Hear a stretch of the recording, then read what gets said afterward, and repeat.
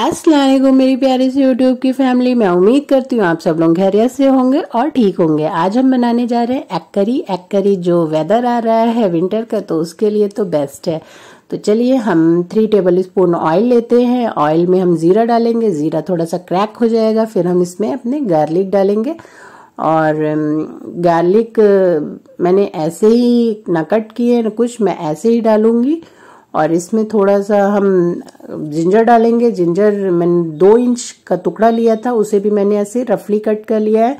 और हम इसमें फोर टमे, फोर ऑनियन डालेंगे। फोर ऑनियन डालने के बाद हम इसे थोड़ा सा टॉस करेंगे। टॉस करने के बाद हम, हमें इसे फुल कुक करना है। कुक करने के बाद हम इसका पेस्ट बनाएँगे।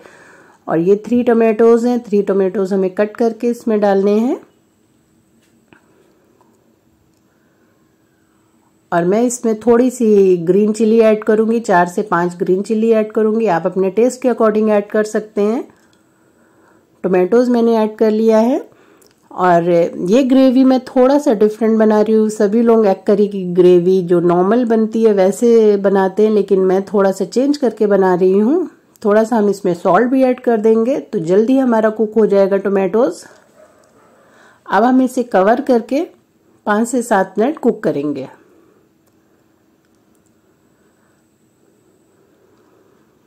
तो चलिए एक बार हम इसे ओपन करके एक बार चेक कर लेते हैं।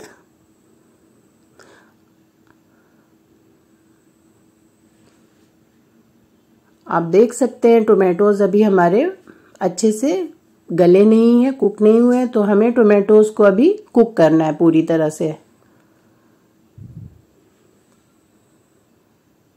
तो हम थोड़ा सा अभी इसमें ड्राई मसाले ऐड कर दे रहे हैं। ये मैंने वन स्पून काश्मीरी लाल मिर्च ली है। वन स्पून मैंने ली है। ये वन ही स्पून है पूरा। और थोड़ा सा, जो हमारा धनिया पाउडर होता है, ये भी मैंने वन स्पून लिया है। और इन सब चीज़ों को मिक्स करके फिर हम इसे कुक होने के लिए रख देंगे। अगर इस स्टेज पे आपके मसाले लग रहा है, आपको लग रहे हैं या जल रहे हैं तो आप थोड़ा सा इसमें पानी भी ऐड कर सकते हैं और फिर आप इसे कुक कर सकते हैं। ये देखिए, काश्मीरी लाल मिर्च जाने के बाद कितना अच्छा इसका कलर आ गया है। अब हम इसकी लीड लगा के हम इसे कुक करेंगे। देखिए, हमारे टोमेटोज पूरी तरह से डन हो गए हैं और पूरी तरह से पक गए हैं। ये हमारी ग्रेवी के लिए तैयार हो गया। अब हम इसे थोड़ा सा कूल कर लेंगे, फिर उसके बाद हम इसकी एक पेस्ट बना लेंगे। इस तरह से आप इसको थोड़ा सा मैश भी कर लीजिएगा। अगर आपके थोड़े से टोमेटोज कुछ भी बचे होंगे तो वो मैश होके भी अच्छे से गल जाएँगे। मेरे एक दो कुछ रह गए थे तो मैं उसे अच्छे से मैश कर ले रही हूँ। अगर आपको रेसिपी पसंद आती है तो प्लीज़ आप लाइक करिएगा और मेरे चैनल को सब्सक्राइब ज़रूर करिएगा। सब्सक्राइब करने के पैसे नहीं लगते हैं। तो चलिए हम इसका पेस्ट बना लेते हैं। ये देखिए, मैंने इसका पेस्ट बना लिया है।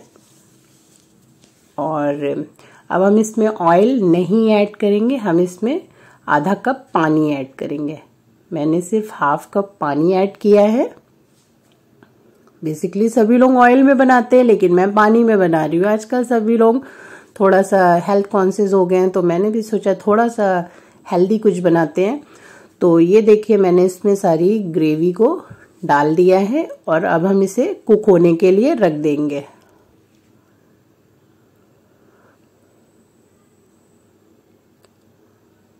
जब तक हमारी ये ग्रेवी कुक होती है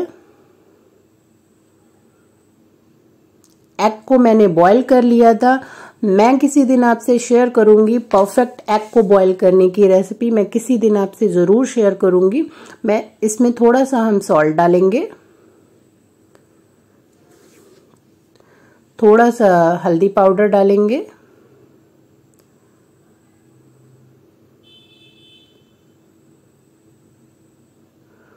और थोड़ा सा काश्मीरी लाल मिर्च और थोड़ी सी डालेंगे। हाफ़ स्पून मैंने ऐड करा है और ये रेड चिली पाउडर है, हाफ़ स्पून। और इन सब चीज़ों को हम मिक्स कर देंगे।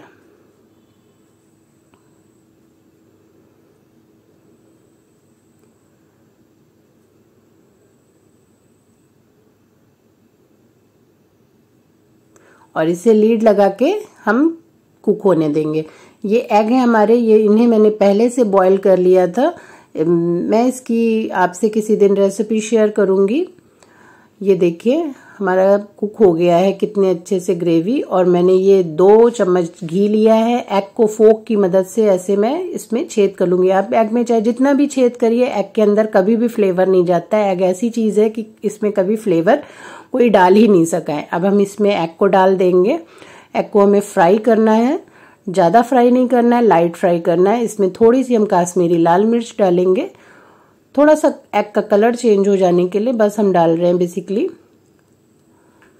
अब मैं आपको बताती हूँ, मैंने पानी में इसलिए डाल ग्रेवी को पकाया था क्योंकि हम इसे घी में फ्राई कर रहे थे तो बहुत हमारी ऑयली हो जाती, इसलिए मैंने इसे पानी में पकाया था। तो ये देखिए, हमारी ग्रेवी ऑलमोस्ट बन के तैयार हो गई है। अब हम इसमें सारे एग को ऐड कर देंगे। एग को बहुत कुक मत करिएगा। एग जब कुक हो, ज़्यादा कुक हो जाता है तो बहुत जैसा स्टिकी टाइप का हो जाता है तो वो खाने में मज़ा नहीं आता है। तो ये देखिए ग्रेवी हमारी बन के तैयार होगी थोड़ी सी हरी धनिया से हम इसे गार्निश करेंगे। और अब हम इसे सर्व करते हैं। और अगर आपको रेसिपी पसंद आए तो आप प्लीज़ लाइक करिएगा शेयर करिएगा कमेंट करिएगा और मेरे चैनल को ज़रूर सब्सक्राइब करिएगा प्लीज़ सपोर्ट मी और आप इस तरह से चाकू से भी कट लगा सकते हैं। मैं एक इसीलिए मैंने चाकू से कट लगाया था, आपको दिखा रही थी।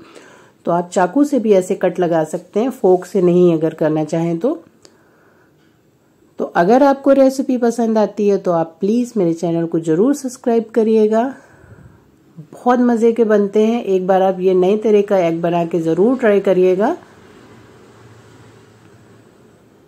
बाय बाय अल्लाह हाफिज़ टेक केयर